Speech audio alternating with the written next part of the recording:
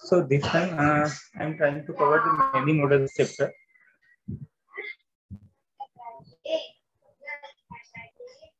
I think uh, we have hurriedly covered the two chapters of uh, uh, basic models basic and model building. Uh, and uh, during these two chapters, I, I did not incorporate those source codes from the chapter themselves. I have taken different point of view, but this many models chapter looks confusing also, even for Arnav. Uh, even though he has covered iteration, uh, and we will cover iteration in this chapter as well. But uh, the procedure in these two iterations are different. let me present it directly without explaining beforehand.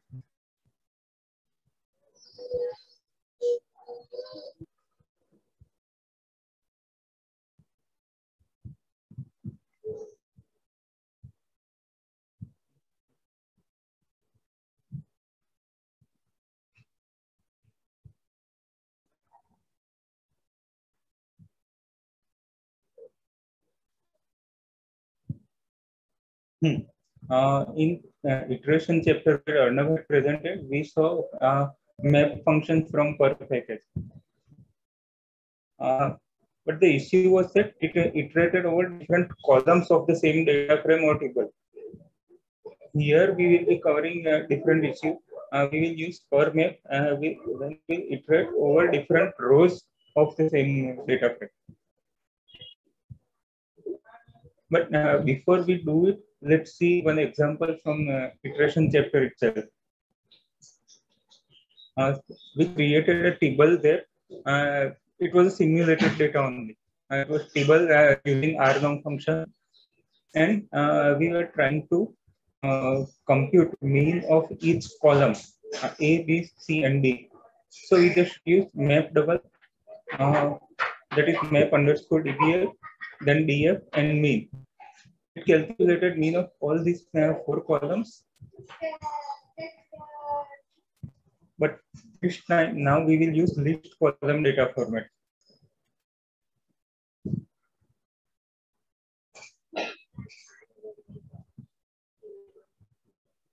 And we will use Gapminder example. Uh, we are just uh, seeing the three rows uh, from this uh, Gapminder dataset and Gapminder dataset is available in Gapminder package itself. Uh, I think Jenny Bryan has developed this from Gapminder website. And it has different variables like country, uh, continent, which are categorical variables. Then year is also a time series uh, variable. Life expectancy, population, and GDP per capita. These uh, three are continuous variable in this dataset. And now uh, we are using group by and nest commands. We are grouping the Gapminder dataset by uh, country and continent. Actually, it should be uh, grouped by only country, but still uh, we have also added one more variable so that uh, we can create some more reports in future if we require and uh, then we will use nest command. So it will create a list column. See now the structure of the data set, uh, structure of this table. Country and continent, the grouping variables are visible, but all the remaining uh, columns have become a sub uh, data frame, a data frame within a data frame now instead of displaying other columns, it uh, it displays only data column now, and this is a table within table. That's why it is called list column. List within a column. And now this is also a list. And because it's a list, we can use the list manipulation technique of part.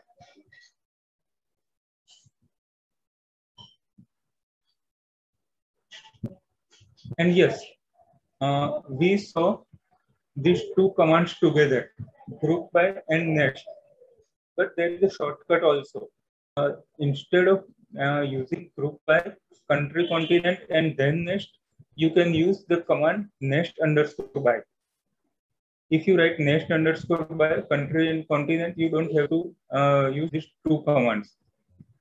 It works only in one command. And then we are taking the structure just for our understanding. What is the class? Country and continent both are factors, and this data is in list. List within a column. That's why list column now. And now we will create a model for each country. We know that we want to apply linear model now, but we can try it first. By country and data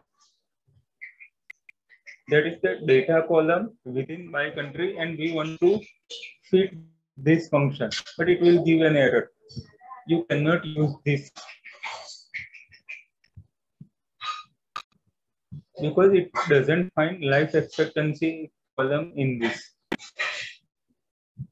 So we will need to create a wrapper function that is uh, one function that will solve this problem for one uh, element. That is uh, only for this one table it should solve this problem. And thereafter we will uh, map it for different tables. So we create one more function uh, user defined function. Uh, country model is equal to function and then uh, within this uh, curly bracket lm life data equal to df. So we can now try to use this wrapper function in each list column. We can now apply this function instead of that earlier lm function we defined. Uh, we did not define actually. The we use built-in function.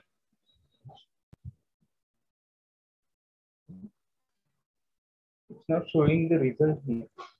Uh, okay.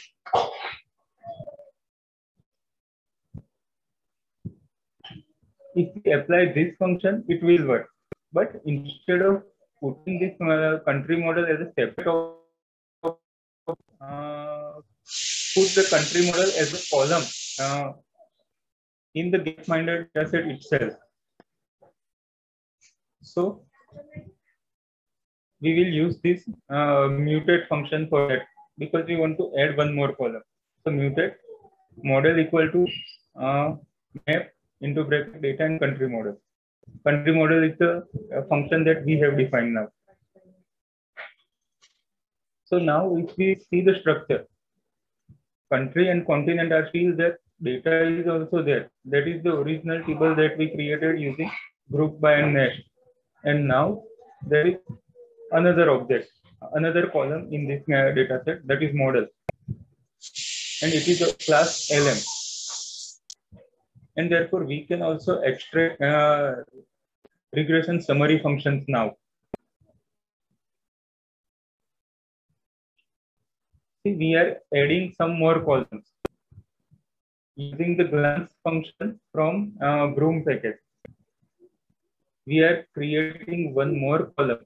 See, we already had created two columns. One was uh, the table, which we created using group by and nest and then we created one more uh, column uh, after defining the function. Now we are creating three more columns. Glance is equal to uh, Broom glance function. And then we are selecting only country, continent, and glance. We are removing the other columns now. And then if we unnest Unnest is the opposite of nesting. Uh, earlier we had uh, extra list column and now it is being unlisted. So what will happen? Uh,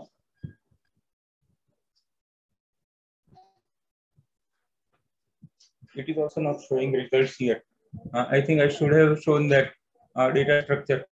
The glance function from Broom uh, shows the diagnostic information like the adjusted R square, R square, AIC, BIC, log like, etc.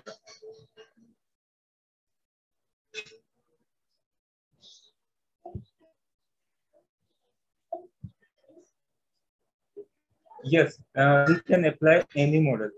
It is not just uh, linear model or generalized linear model which are distributed with base R. You can use any model as far as the package is installed. Say for example, uh, you want to uh, apply generalized additive model. It is available in mgcv package. So if you want to apply, uh, you have to load that function, uh, load that package first. Then you can apply that function as well. So that uh, also possible in tidy models, not just mapping function, right? Because map can do. Okay, okay. Uh, but the tidy model workflow is different. I think I should uh, explain it uh, uh how to do right. Uh, I mean, uh, hands-on experience. After this presentation, I think I will open it in RStudio itself. Okay, okay. Thank you. Yeah. and it will show what is the uh, diagnostic information. I mean, uh, how much uh, the model explains this phenomenon. say, for example, in this case, we are taking life expectancy per year.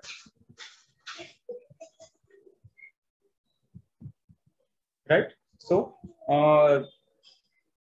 this model diagnostic will show uh, how far uh, life expectancy increases year by year.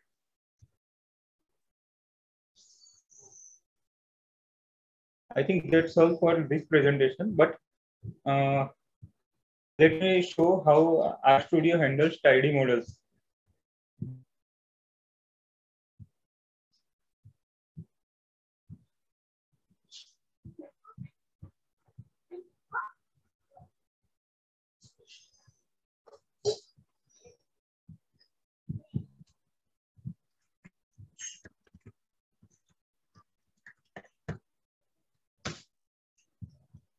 Aditi, have you used tidy models earlier? Um, not, not at all. I have tried using it actually, uh, but their workflow is quite different. Huh? You have to specify the model first.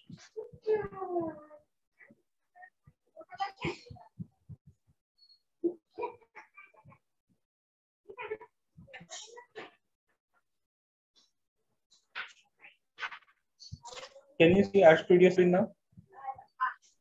I can see. Okay.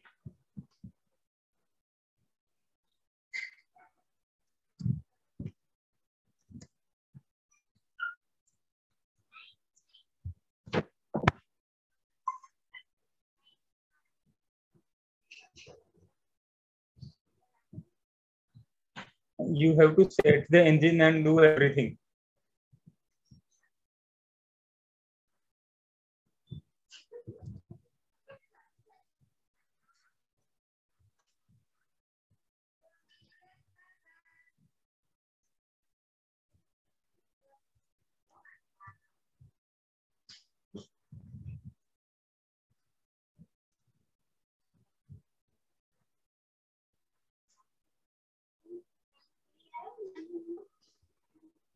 Just a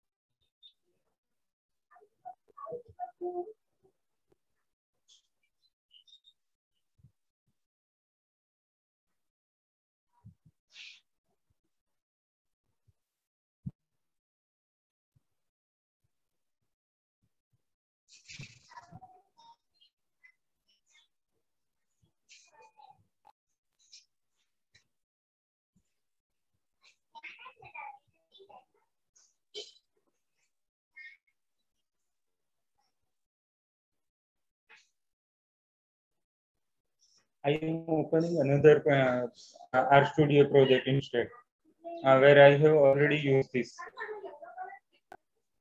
Okay.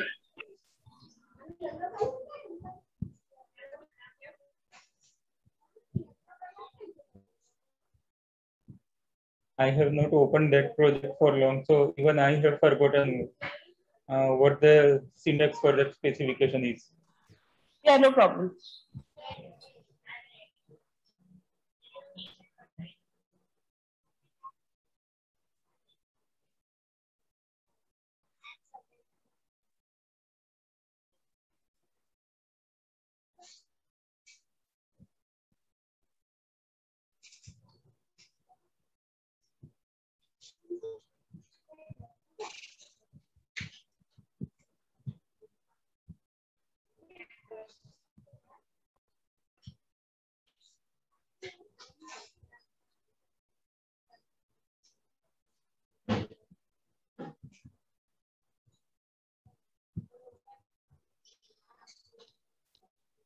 Think even tidy models uh, for me it uh, creates problems sometimes because I have to break the pipe chain.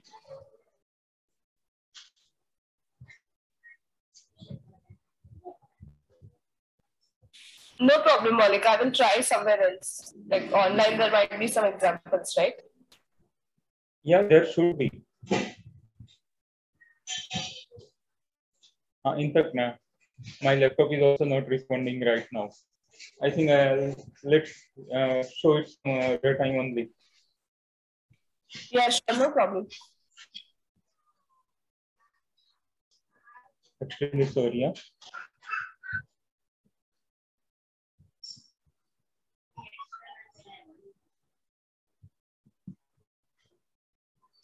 And uh, what should we do next time? Uh, should we uh, complete exercises now? Yeah, we can do that. Anyways, this is recorded, no? So whoever is uh, lagging here, they can definitely look into the video. Yes.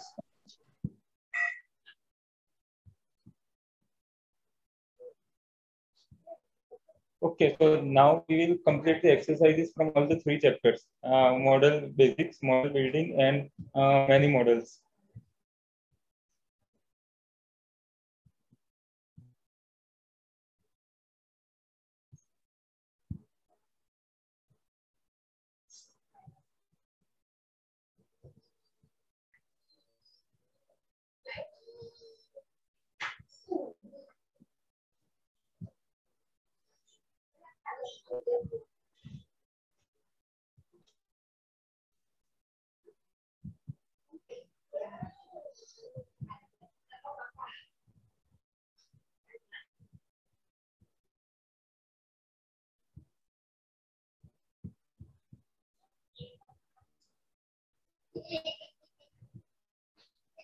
Yes, finally.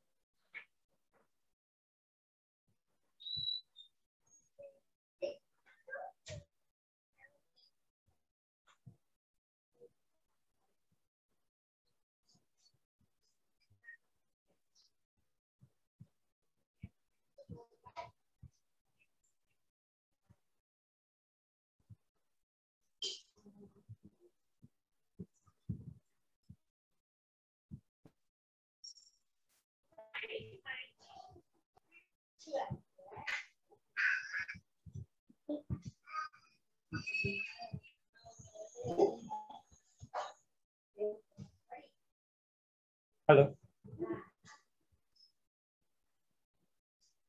Aditi. Yes. Yes. See, uh, I have created an R profile for this uh, specific in itself. So that whenever I load this project, uh, it will be automatically loaded. LM model, uh, then it uh, gets value, linear regression, and then piping. Set engine, uh, engine is equal to LM. So after this, uh, you will only have to fit the model.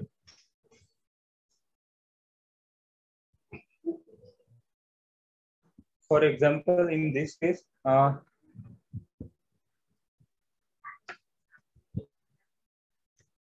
can you see this R script now? Yes, I can. Mm -hmm.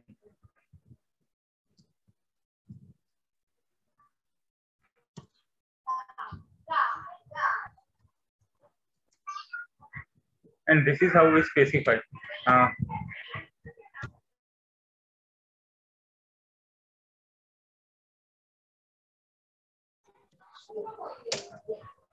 we already specified one LM object, LM model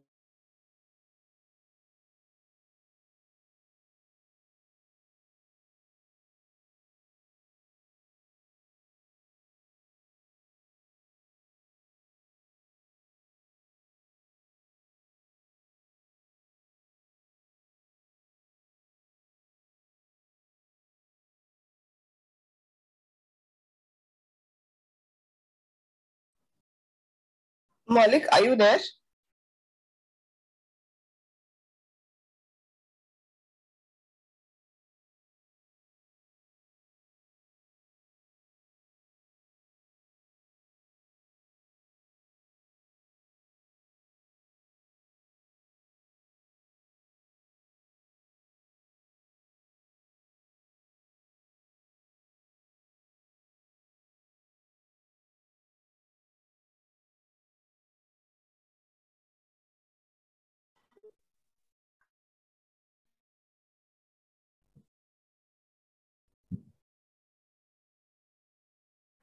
Maulik, are you there?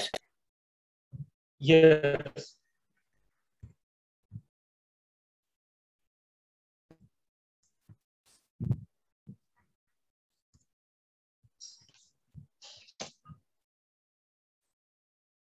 And now we can uh, extract the data from models.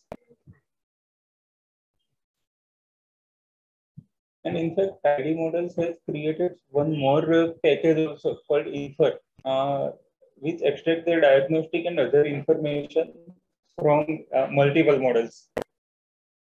This is separate from uh, Broom also.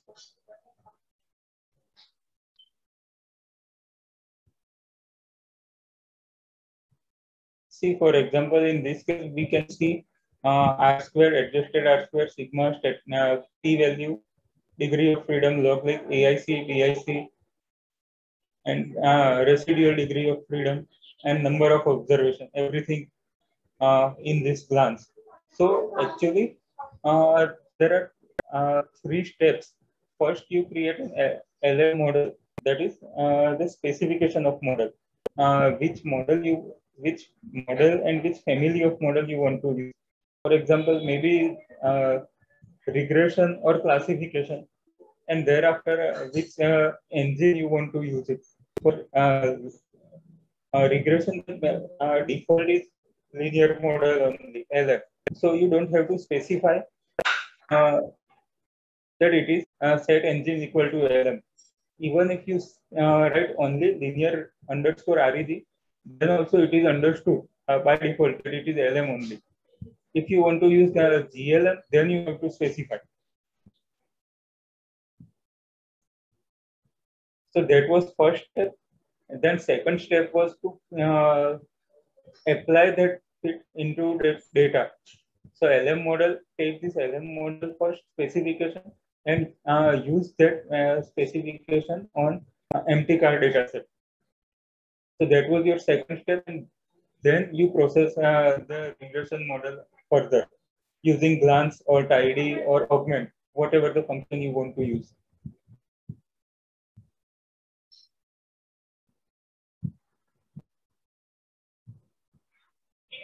Yes, set engine is the uh, required argument if you want to uh, set a different engine. As I said, uh, for linear regression, uh, LM is the default.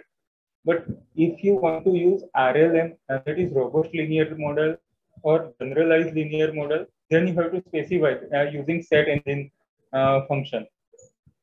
If you don't write anything, you skip it, then R, R and tidy models will take it as linear model only, which is the default, I mean, uh, which is already provided in base R. So you don't have to load it. But say, for example, you want to load a generalized additive model, then you will have to specify it. Uh, set engine equal to mgcv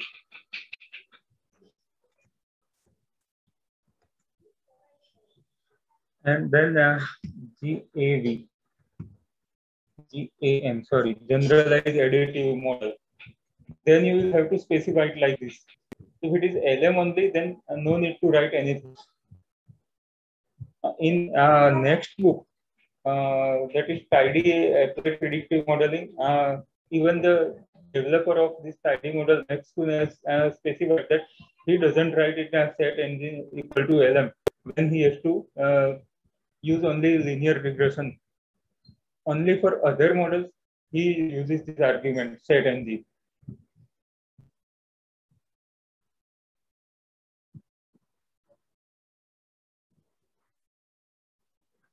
So uh, for me, I think the conclusion is that uh, if you want to use multiple models uh, and different family of models, then tidy model is for you. But if you want to use the same kind of uh, model, same family of model, I would say, uh, say for example, uh, if you are trying to use only linear regression model, then you know uh, you don't need tidy models.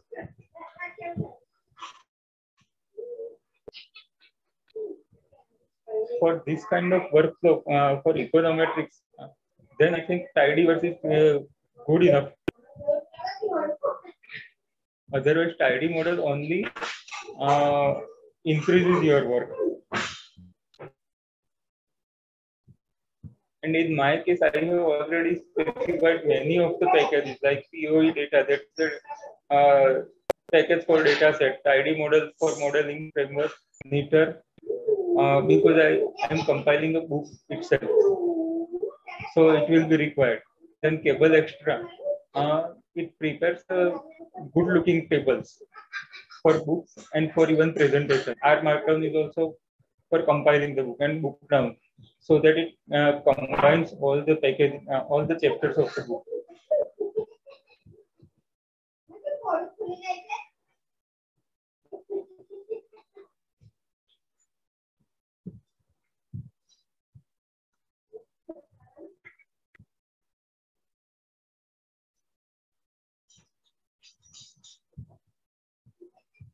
So which are the models you are using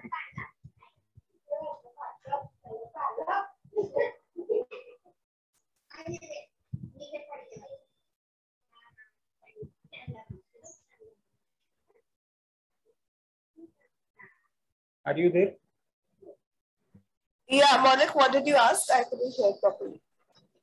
So uh, I was just asking uh, which models are you using uh, and what is your workflow for app? I usually use MAP. I have tried a few machine learning models and GAM, uh, regression models like GAMs and then, sorry, LM and uh, GLMs, mixed effects, etc., etc. Not many models, just a few machine learning models and uh, yeah, linear models. Okay. And because I am studying econometrics, uh, most of my work is uh, about uh, linear regression only. And sometimes generalized linear model. Otherwise, I have not used GAM or uh, K nearest or other kind of uh, models. Okay, okay, okay. So as of now, I am using only this uh, tidyverse family, not tidy models.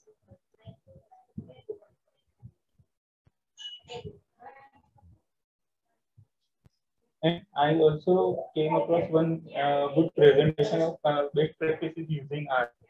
So I have also uh, incorporated those things. For example, like uh, creating sections. Uh, if you can see this, you can uh, collapse it.